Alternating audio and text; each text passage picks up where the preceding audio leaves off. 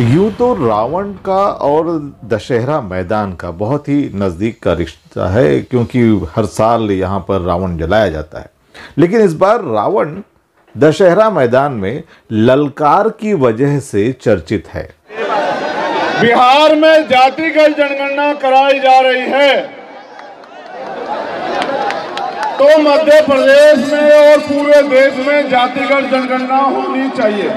इस बार उसकी चर्चा सिर्फ़ इस वजह से हो रही है। और न सिर्फ़ चर्चा बहुजन समाज में हो रही है, क्योंकि चंद्रशेखर रावण बहुजन समाज से आते हैं और दलितों की राजनीति करते हैं, बल्कि उनकी चर्चा अब कांग्रेस में भी हो रही है। और कांग्रेस के एक बड़े नेता दिग्विजय सिंह ने भी उनके इस कार्यक्रम की, का जो ज़िक्र है, वो अपने सोशल मीडिया हैंडल पर किया हुआ है। बहुत बड़ी बात है, क्योंकि उनका चंद्रशेखर रावण में क्या दिलचस्पी है, उनका इस तरह से दिलचस्पी लेना।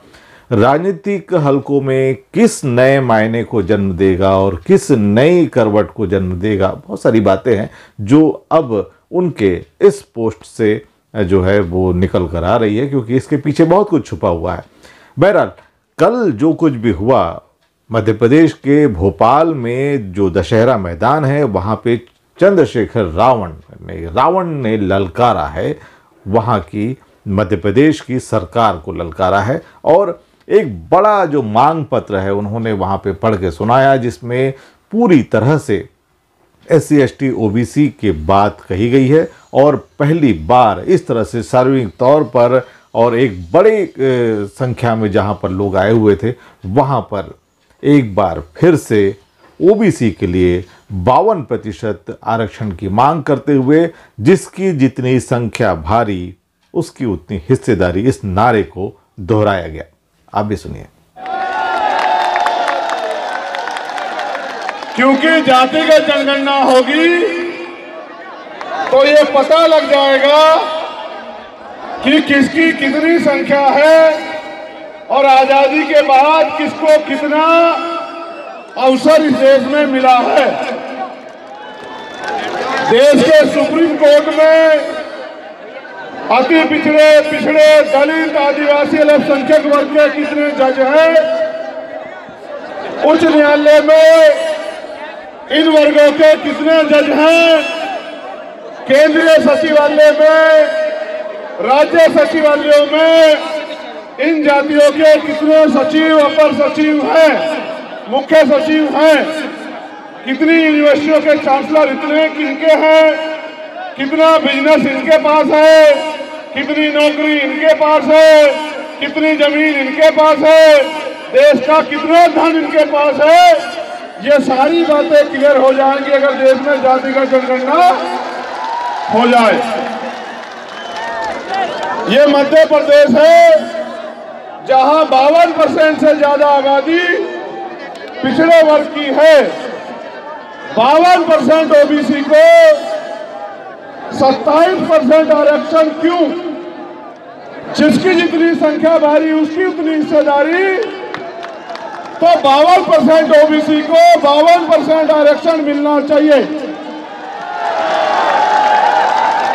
जब सौ में से बावन I S I P S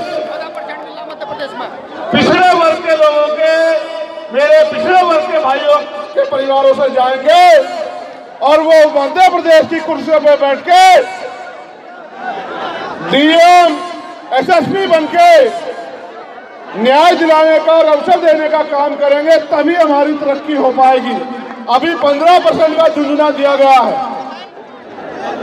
Madhya Pradesh में स्कूल अतिथि शिक्षक को अधिभार अंक देकर नियमित किया जाना चाहिए। किसानों को उनकी फ़सल का उचित दाम, न्यूनतम समर्थन मूल्य एमएसपी की गारंटी दी जानी चाहिए।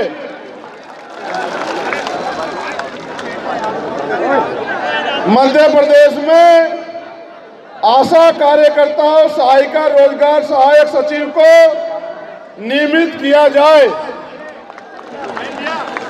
आरक्षण को संविधान की नौवीं अनुसूची में रखा जाए।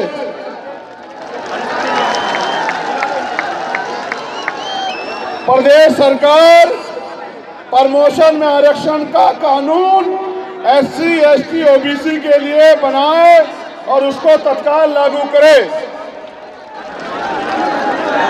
निजीकरण के नाम पे सरकारी प्रतिष्ठानों को बेचने का काम अब बंद होना चाहिए। यानी कि अडानी अंबानी को सरकारी जो है, जो इंस्टीट्यूशन है, उनको दिया जा रहा है, ये खेल समाप्त होना चाहिए। मध्य प्रदेश की प्रत्येक ग्राम पंचायत में बाबा साहब अंबेडकर और अन्य महापुरुषों के नाम पे सामुदायिक भवन बनाए जाने चाहिए। और उनके अंदर हमारे महापुरुषों की स्टैचू भी लगाई जानी चाहिए। संविधान की प्रस्तावना से सेकुलर और सोशलिस्ट से हटाने का जो षड्यंत्र किया जा रहा है, उसको रोकना चाहिए। कोरोना काल में स्वास्थ्य कर्मियों ने कार्य किया, उनको नियमित किया जाना चाहिए।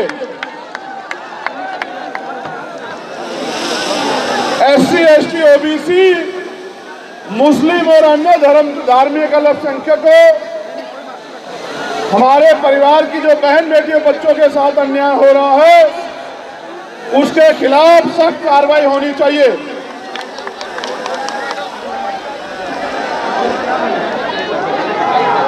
निजीकरण के सहारे आरक्षण को समाप्त करने का जो खेल चल रहा है ये खत्म किया जाना चाहिए। पुलिस विभाग में साप्ताहिक अवकाश लागू किया जाना चाहिए। पुलिस विभाग में ग्रेड पे चौबीसों किया जाए, वर्दी भत्ता, पेट्रोल भत्ता दिया जाए। प्रतियोगी परीक्षाएँ में फ़ीस राशि खत्म की जाए। पुरानी पेंशन लागू की जाए। मध्य प्रदेश शासकीय भर्तियों में, पात्रता परीक्षा उत्तीर्ण में S C S T OBC को सामान्य वर्ग की तुलना में 10 परसेंट छूट दी जाए। मध्य प्रदेश के प्रत्येक संभाग में 500 सीट बालक बालिकाओं का छात्रावास खोला जाना चाहिए। कमज़ोर वर्गों के लोगों और स्पेशली ओबीसी महासभा जैस और भीम आर्मी के खिलाफ जो झूठे मुकदमे किए गए हैं, उनको वापस लिया जाना चाहिए। एस सी एक्ट में मृतक परिवार को दी जाने वाली क्षतिपूर्ति की राशि को 30 लाख रुपए बढ़ा के किया जाना चाहिए। यहाँ पर खास बात यह है कि इस कार्यक्रम का आयोजन किसने किया था? इस कार्यक्रम का आयोजन भीम आर्मी ने किया था। बहुत बड़ी संख्या में तमाम लोग वहाँ पर आए हुए थे। हाँ लेकिन जहाँ पर हम ये देख रहे हैं कि एक लंबे समय तक बहुजन समाज पार्टी से जुड़े कुछ लोग, वे लंबे समय तक जुड़े हुए एक गायक वो भी वहाँ पर अपनी प्रस्तुति दे रहे थे। साथ ही जैस जैसे आदिवासी जो संगठन है, वो भी वहाँ पे मौजूद रहे। इससे एक बात तो समझ में आ रही है कि जो मध्य प्रदेश का जो बहुजन युवा है, वो अब संगठित हो रहा है।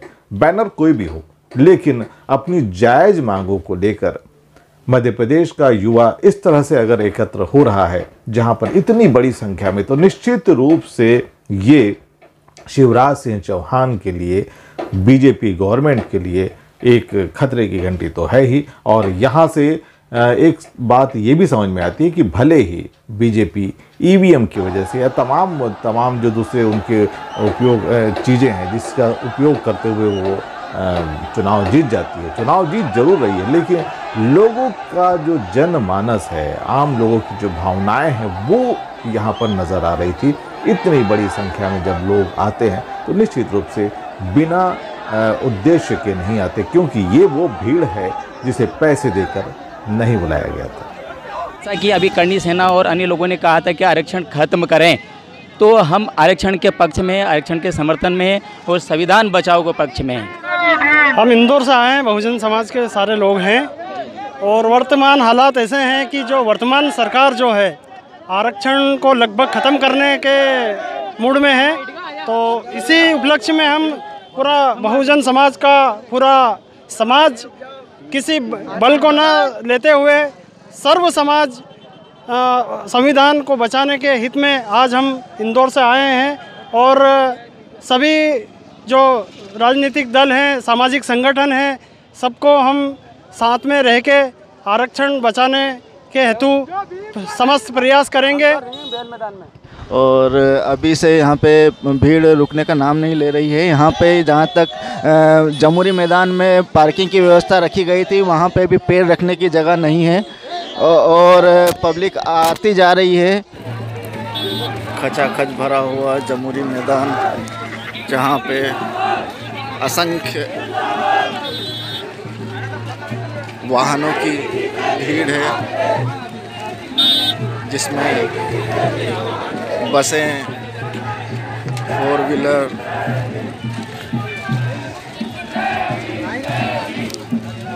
ये तो सिर्फ़ पार्किंग का स्थल है,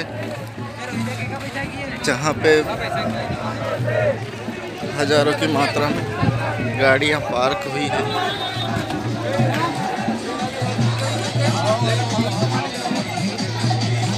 आरक्षण के समर्थन में, हज़ारों की तादाद में भीड़